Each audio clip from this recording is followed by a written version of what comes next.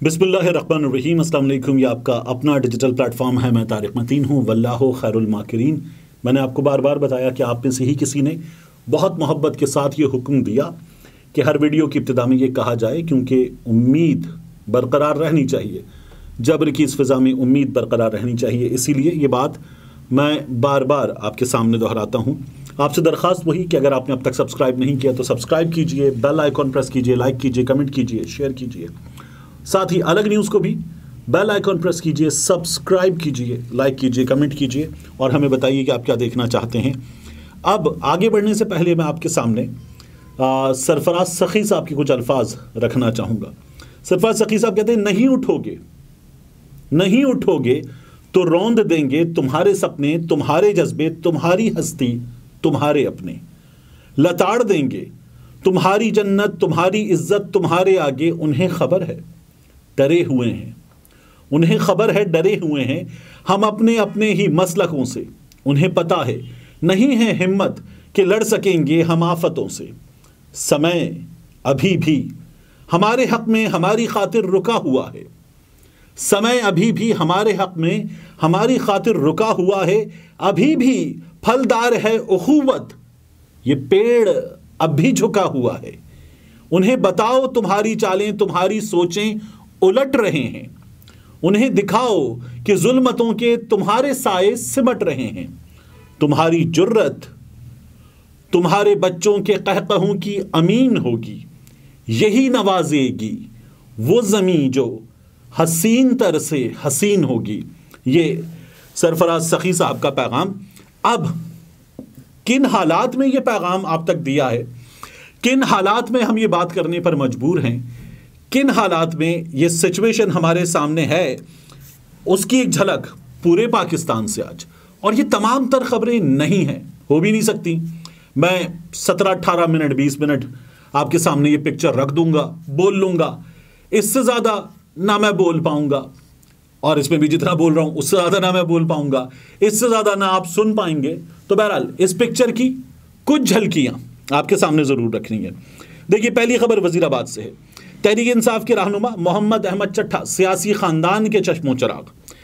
मोहम्मद अहमद चट्ठा के कागजात नामजदगी छीन लिए गए। वजीराबाद, यहीं पर पाकिस्तान तहरीक इंसाफ पंजाब में वर्कर्स कन्वेंशन करने का इरादा रखती है। फिर दूसरी खबर, चकवाल से। हल्का है पीपी बाईस, कागजाती नामजदगी जमा कराते हुए तहरीक इंसाफ के मलिक अख्तर शहबाज रिटर्निंग ऑफ़िस से गिरफ़्तार हो गए। फिर उसके बाद तीसरी खबर है विहाड़ी से, जनूबी पंजाब। रिटर्निंग ऑफिसर के हुक्म पर हल्का पीपी 234 के उम्मीदवार जाहिद इकबाल चौधरी के कागजात नामजदगी जमा करवाने के लिए जाने वाले। वो खुद नहीं, उनके कागजात नामजदगी जमा करवाने के लिए जाने वाले हम्माद रजा जट एडवोकेट को पुलिस ने गिरफ़्तार कर लिया किसके हुक्म पर? रिटर्निंग ऑफिसर के हुक्म पर। यही दरखास्त लेकर तो उमैर नियाजी साहब लाहौर हाई कोर्ट गए थे। लाहौर हाई कोर्ट ने सुन ली थी ये दरखास्त और कहा था कि कैसे कैसे शफाफ इलेक्शन हो पाएँगे? चीफ जस्टिस ने कहा, इलेक्शन और जमहूरियत का प्रोसेस डीरेल करने की कोशिश की गई है। यह कहा गया था।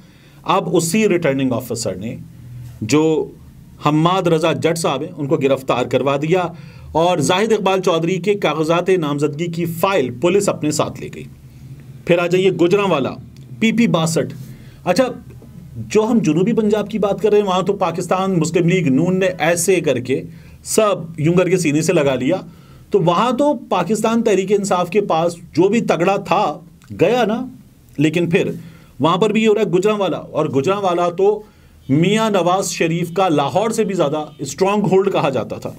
गुजरा गुजरावाला पीपी बासठ से पाकिस्तान तरीक इंसाफ के चौधरी मोहम्मद अली।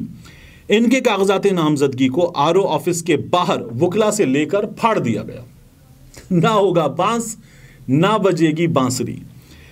इसके बाद सियालकोट, यहाँ रिटर्निंग ऑफिसर के हुक्म पर पुलिस ने कागजात नामजदगी जमा करवाने के लिए पहुँचने वाले पाकिस्तान तहरीक इंसाफ के सबक टिकट होल्डर चौधरी मुनवर अली के बेटे हैदर अली को आरओ के दफ्तर से कर लिया गिरफ़्तार।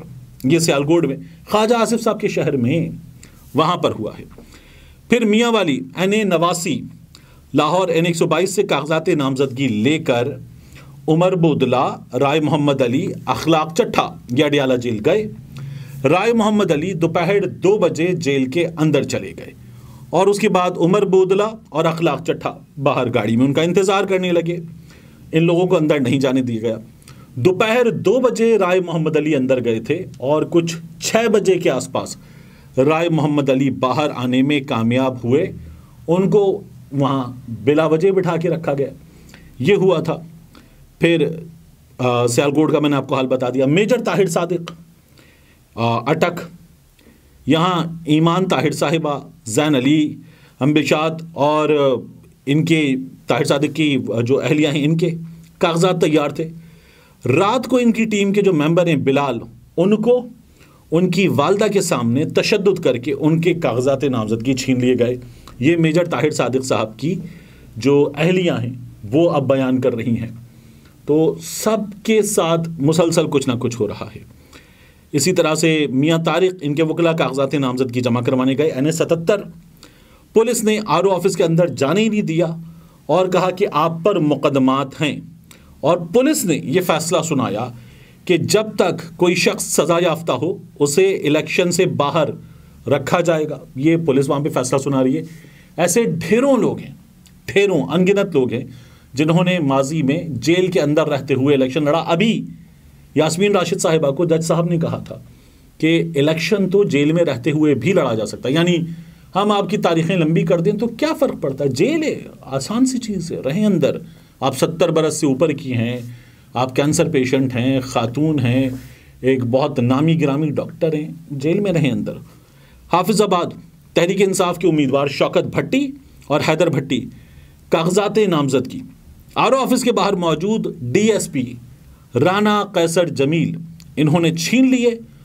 आरओ का दफ्तर डीएसपी साहब ने बंद करवा दिया। मतलब आरओ का दफ्तर डीएसपी साहब ने बंद करवा दिया। वहाँ पे वकला बेचारे एहतजाज करते रह गए। दुनिया न्यूज़ की जो रिपोर्टर हैं, वो ये बताते हैं कि एन सतहत्तर में मियाँ तारिक महमूद के साथ भी यही हुआ। उनको कागजात नामजदगी जमा नहीं करवाने दिए गए और यहाँ से उम्मीदवार कौन है मुस्लिम लीग नून की जानब से? एक नामी गिरामी शख्सियत हैं। बहुत बड़ा नाम है। मियाँ नवाज़ शरीफ साहब को बड़े पसंद हैं।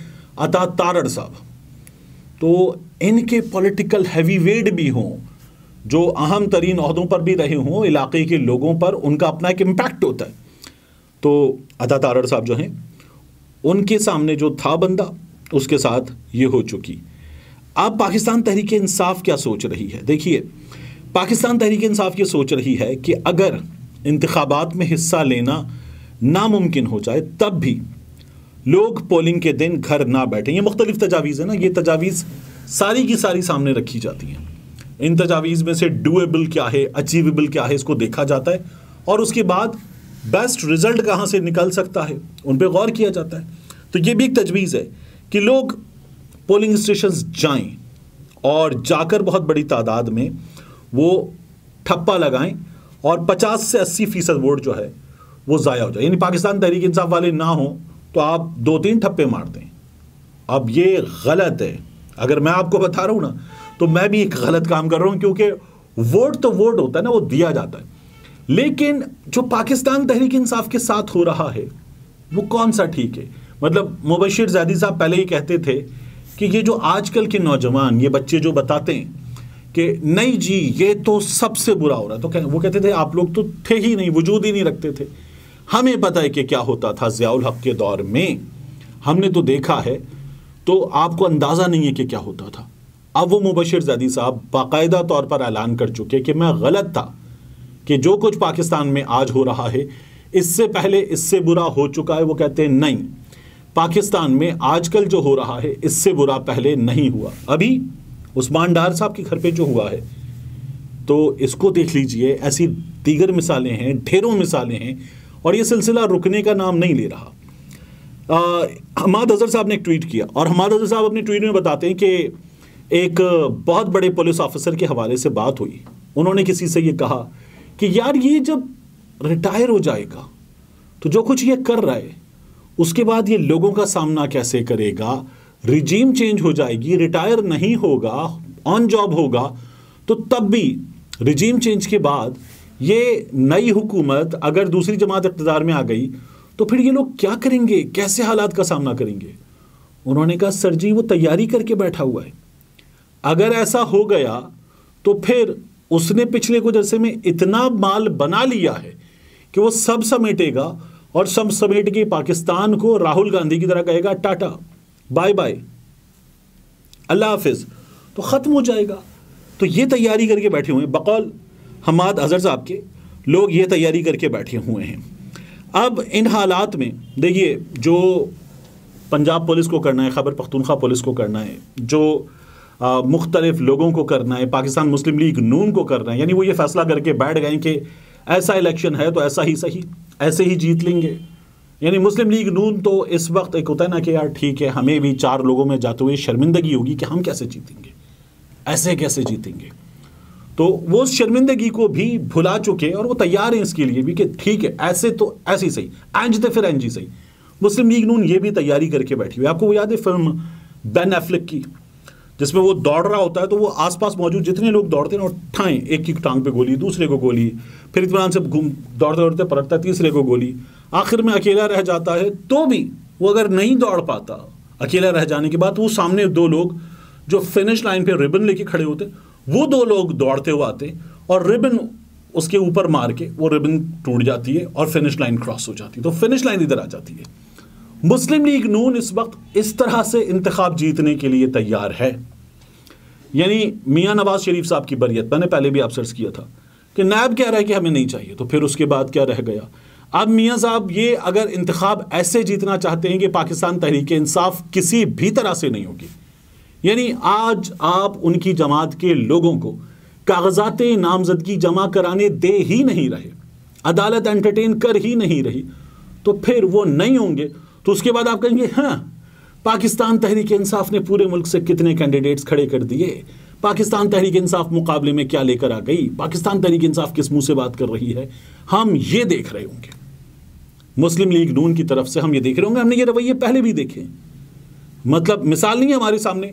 आज के दिन शर्जील इनाम मेमन साहब ने यह कहा है कि जितने सर्वे आ रहे हैं, उन तमाम के मुताबिक पाकिस्तान पीपल्स पार्टी टॉप पर है।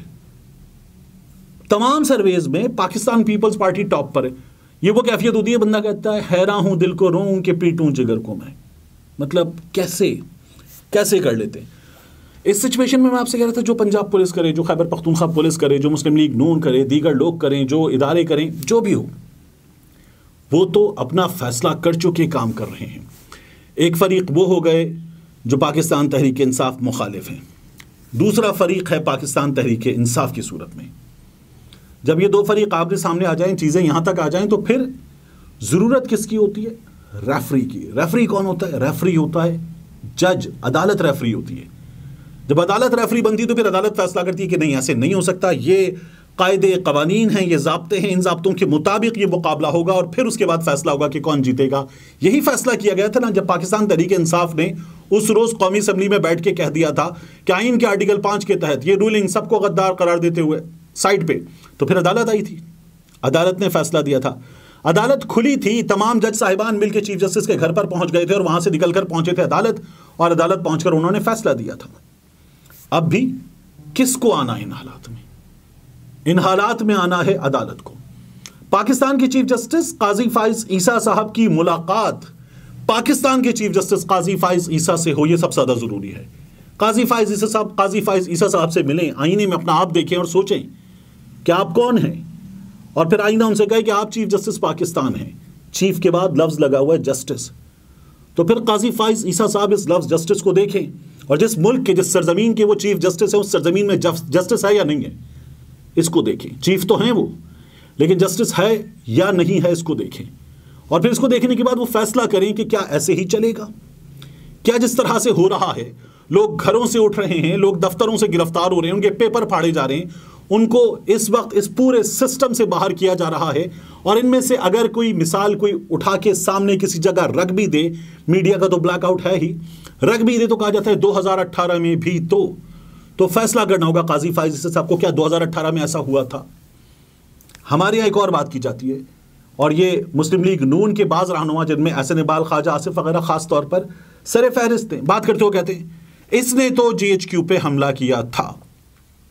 तो फिर मियाँ नवाज़ शरीफ साहब ने सुप्रीम कोर्ट पे हमला किया था। जीएच के ऊपर हमले के वक्त इमरान खान गिरफ़्तार था। सुप्रीम कोर्ट पर हमले के वक्त मियाँ नवाज़ शरीफ बनफ से नफीस सुप्रीम कोर्ट पर चढ़ाई करने वालों की कयादत कर रहे थे खुद। तो सुप्रीम कोर्ट की इज़्ज़त नहीं है। अगर जीएच के ऊपर हमले के नतीजे में इमरान खान साहब की जमात के लोगों को सजा होनी है तो बिल्कुल होनी है और होनी चाहिए। तो फिर सुप्रीम कोर्ट पर हमले के नतीजे में किसी को सजा नहीं होनी। सुप्रीम कोर्ट के जज साहिबान को घेर लेने के नतीजे में कुछ नहीं होना। दरवाजे पर चढ़ जाने के, गालियाँ देने के, अंदर घुस जाने के नतीजे में कुछ नहीं होना। अगर मियाँ नवाज़ शरीफ साहब का यह फेल काबिल तारीफ़ है तो फिर मियाँ नवाज़ शरीफ साहब को कोई तमगा भी दिया जाए कि इन्होंने पाकिस्तान की सुप्रीम कोर्ट पर हमला किया था, इनको निशान इम्तियाज़ दिया जाता है, सितारा इम्तियाज़ दिया जाता है।